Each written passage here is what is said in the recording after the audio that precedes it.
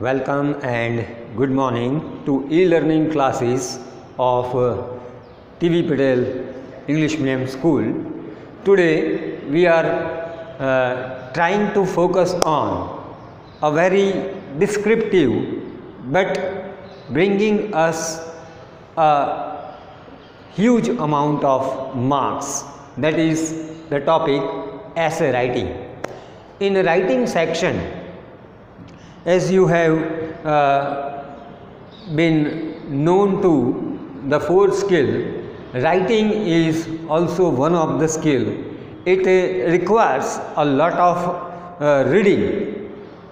जैसे कि आप सब लोग जानते हैं कि ऐसे एक ऐसा टॉपिक है जिसके ऊपर कोई ज़्यादा सोचता नहीं है I think since my being a teacher I have observed मैंने देखा है कि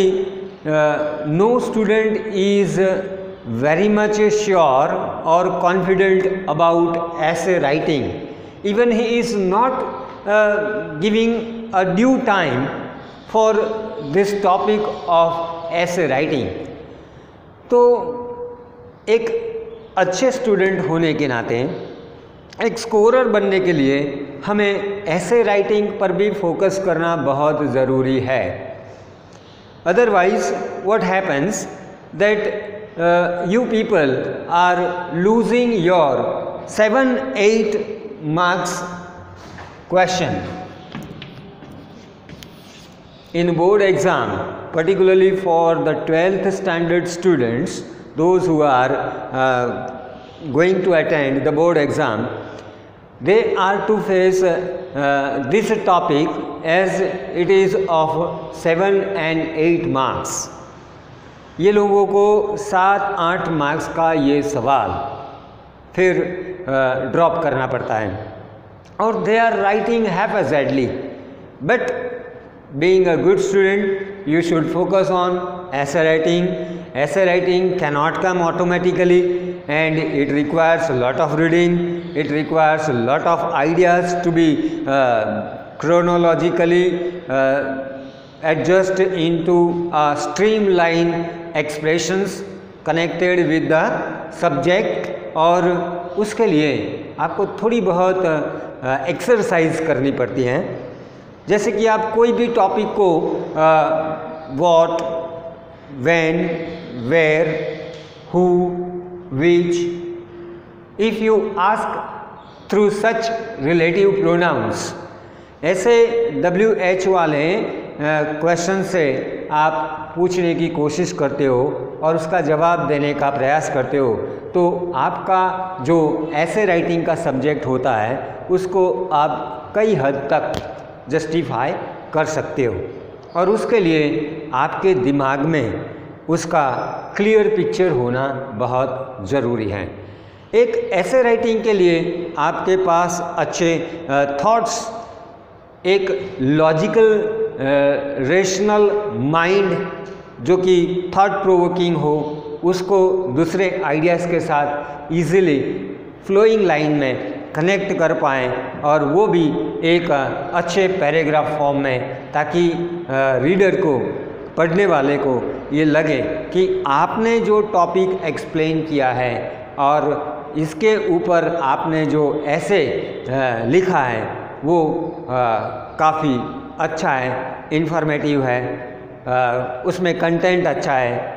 उसकी क्लैरिटी अच्छी है abruptly narrated uh, to uh, follow by the reader and they can manage to understand. What the real topic is going to tell them. अच्छा कौन से पॉइंट्स का हमें ख्याल रखना चाहिए? क्योंकि ऐसे राइटिंग मतलब आप जब किसी सब्जेक्ट पर लिखने जा रहे हो तो उसका आपके पास अप्स एंड डाउन्स उसका बहुत सारा नॉलेज आपके दिमाग में होने चाहिए उसका इंट्रोडक्शन से लेकर के उसके नरेशन तक का एंडिंग तक आपको उसका नॉलेज होना बहुत ज़रूरी है। अगर हम पॉइंट्स की बात करें तो पहले आता है introduction you have to introduce the subject quite well following all the details related with that topic उस सब्जेक्ट को आप ठीक से समझाकर उसको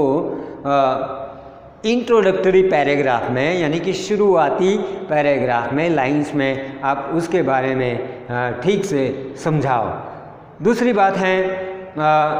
उसका बॉडी यानी कि ऐसे writing can be divided into several paragraphs और जैसे कि हमने अभी बात किया इंट्रोडक्शन तो ये बॉडी का पहला हिस्सा है इंट्रोडक्शन जिसमें आप टॉपिक रिलेटेड इंट्रोडक्शन करते हो और उसके जन्म की बात, उसका शुरुआती इनिशियल स्टेज और that's how you introduce the topic फिर body means the topic divided into very you know chronological paragraph जिसमें आपको उस टॉपिक के रिलेटेड आपके जो आइडियाज़ हैं, उसको कॉन्सेप्ट को क्लियर करना है और वो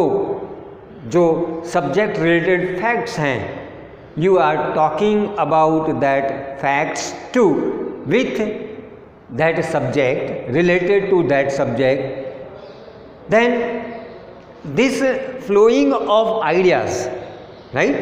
how it should be that should be the clear the clarity of that expression about those ideas and concepts and facts everything should be very clear यानी कि उसमें ड्विंडल कन्फ्यूज़न नहीं होना चाहिए जो भी रीडर उसे पढ़ता है वो बहुत ही बहुत ही क्लियरली आपके एक्सप्रेशंस को आ, समझ जाता है। और ये कॉन्सेप्ट आप सब्जेक्ट के रिलेटेड आइडियाज़ अगर ठीक से लिखते हो तो that's very well and good then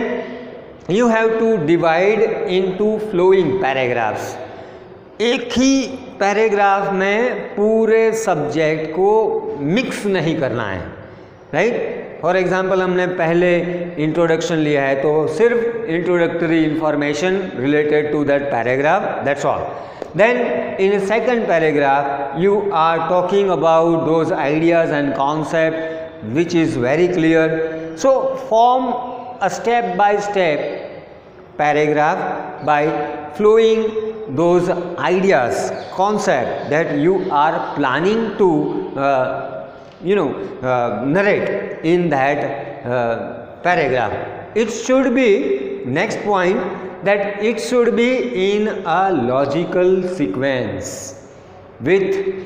as you can see here should be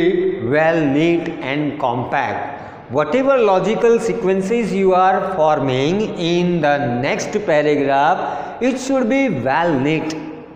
उसको एक दूसरे के साथ इतनी अच्छी तरह से आप जोड़ो कि उसकी जो तार्किकता है, वो बाजू के, यानी कि दूसरे सेंटेंस के साथ अच्छी तरह से जुड़ जाए। It should be well neat and compact it should be clear और वो भी एब्रुप्टली शॉर्टली और हैव सम वर्ड लिमिट ऐसा नहीं है कि डिसिप्लिन फॉर एग्जांपल हमने डिसिप्लिन के बारे में लिखा तो डिसिप्लिन के बारे में इंट्रोडक्शन किया, ठीक है। फिर इंट्रोडक्शन से दूसरे पैराग्राफ में हम डिसिप्लिन के बारे में डिसिप्लिन ये है डिसिप्लिन वो है डिसिप्लिन ये करते हैं तो होता है डिसिप्लिन करने के लिए ये करना चाहिए। No that should be very clear well neat compact mean short abrupt it must have some word limit जैसे कि हमने बात किया कि सात आठ मार्क्स के टॉपिक के लिए आपके पास मिनिमम 300 वर्ड का कंटेंट होना चाहिए। 300 बिटवीन 300 एंड 500 तो ये आपका टॉपिक उसके रिलेटेड आपको वर्ड लिमिट का भी ख्याल रखना है। आगे बात करते हैं फ्लूड स्टाइल स्ट्रीमलाइन डायरेक्शन हमें जैसे जैसे इंट्रोडक्शन से आगे बढ़ते जाते हैं, फिर दूसरा पैराग्राफ तीसरा पैराग्राफ तो ऐसे जैसे झरना धीरे धीरे बह बहता है और पानी के फ्लो को और बहाव को आगे बढ़ा ले जाता है, ठीक उसी तरह हमें इस टॉपिक को धीरे धीरे उसके फ़ायदे उसके मेरिट्स डिमेरिट्स हाँ उसके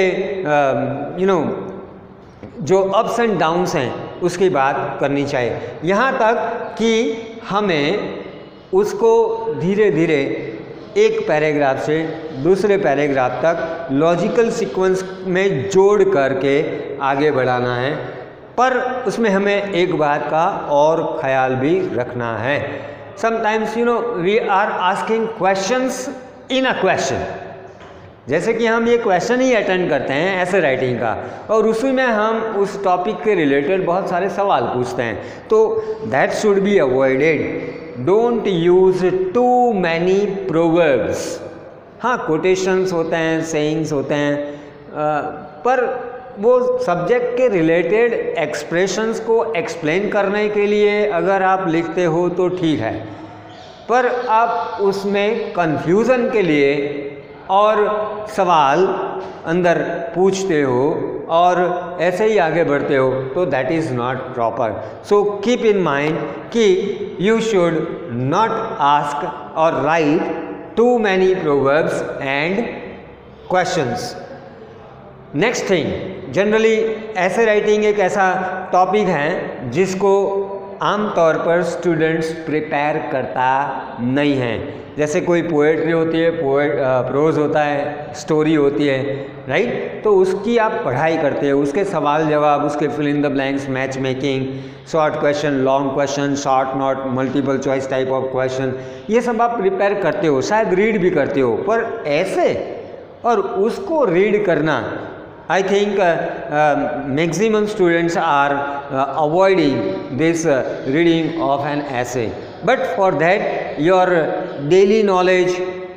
your daily reading and all the current knowledge of those uh, uh, surroundings help us to write a good essay. तो ये ध्यान में रख करके आपको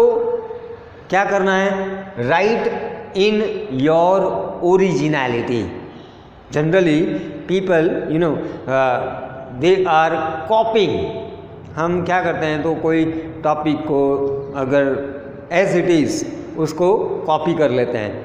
But no it should be in your own language it creates a great impact अगर ये topic आप अपने ओन uh, थॉट्स में हाँ अपने खुद के ख्याल uh, सोच, uh, सोच से लिखते हो अगर आपकी ओरिजिनलिटी उसमें एक्सप्रेस होती है तो उस एक्सप्रेशंस को चार चाँद लग जाते हैं। और ऐसे आपका जो ऐसे राइटिंग होता है, वो बहुत अलग। एग्ज़ामिनर के लिए ये सवाल एक अलग ही इम्प्रेशन क्रिएट करता है और उसके आपको अच्छे मार्क्स भी मिल सकते हैं। अब उसको ओरिजिनल एक्सप्रेशंस में लाने के लिए कई बार आपको अपने जो आइडियाज़ होते हैं थॉट प्रोवोकिंग आइडियाज़ कि जो एक सीक्वेंस को दूसरे सीक्वेंस में कनेक्ट कर सकें और वो समझाने के लिए आपको कई बार यू नो एग्जाम्पल्स भी देने पड़ते हैं। तो you should try to exemplify to support your logical sequences or argument in uh, detail. आप अपने ख्याल को समझाने के लिए कई एग्ज़ाम्पल्स आप अच्छी तरह से नरेट करके समझा सकते हो और ऐसे आपको ये डिटेल में समझ में आ जाता है फाइनली अगर हम बात करें तो लास्ट जो पॉइंट है, वो आपको ख्याल ये रखना है कि जो लास्ट पैराग्राफ आएगा, उसमें आपको समअप करना है, यानी कि क्लोज करना है। यानी कि पूरे सब्जेक्ट मैटर को आप लास्ट पैराग्राफ में क्या करते हो? समअप करते हो एंड करते हो। मतलब कि पूरे स्टोरी का, पूरे राइटिंग्स को आप लास्ट पैराग्राफ में कवर करके एक अलग ही बेंचमार्क हाँ? क्रिएट करते हो और वो पूरे ऐसे का जैसे एंड यहाँ पर हो जाता है। मैं समझता हूँ कि आज आपके लिए ये topic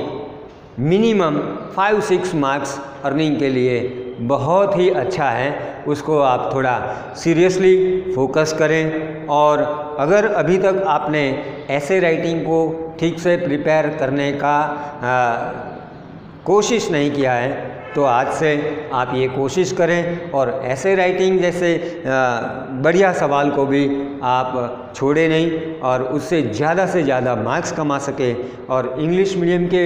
इलेवेंथ और ट्वेल्थ दोनों क्लास के लिए ये टॉपिक बहुत ही कॉमन है। तो ये कुछ पॉइंट्स हैं, उसको ध्यान में रख करके ऐसे राइटिंग आप कंप्लीट करना है। Thank you very much.